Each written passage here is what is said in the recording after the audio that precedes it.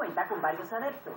Es como un bálsamo de una crema de hidratación profunda. Gabriela Quesada dice que al igual que muchas otras personas, siempre debía usar cremas humectantes luego de lavar su rostro, pero asegura que eso cambió desde que decidió ensayar el jabón de coyol, un fruto obtenido de una palmera. Las propiedades son muy parecidas a las que tiene el coco. Protegen la piel porque la lubrican, la rejuvenecen, disminuyen la cantidad de arrugas y hacen ver realmente a la gente más joven. En 2012, una peregrinación al santuario de la Virgen de Cuapa, ubicado a 86 millas de la capital de Nicaragua, hizo que al doctor Daniel Meneses se le ocurriera elaborar jabones al ver gran cantidad de coyoles en el camino. Comenzó como un joven y luego vi que era posible eh, aprovechar los recursos que hay en mi país. Y aprovechando esos recursos, emprendió la producción de jabones naturales con frutos como el noní, moringa y en especial el de coyol.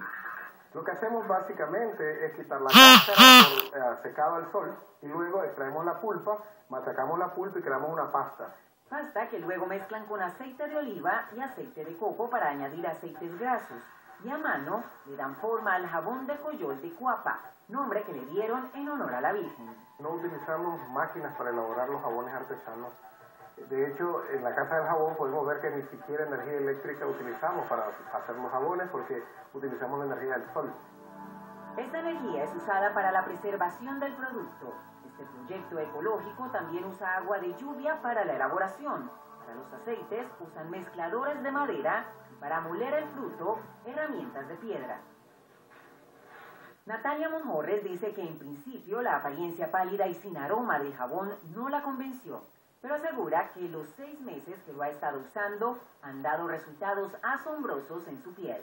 La cara completamente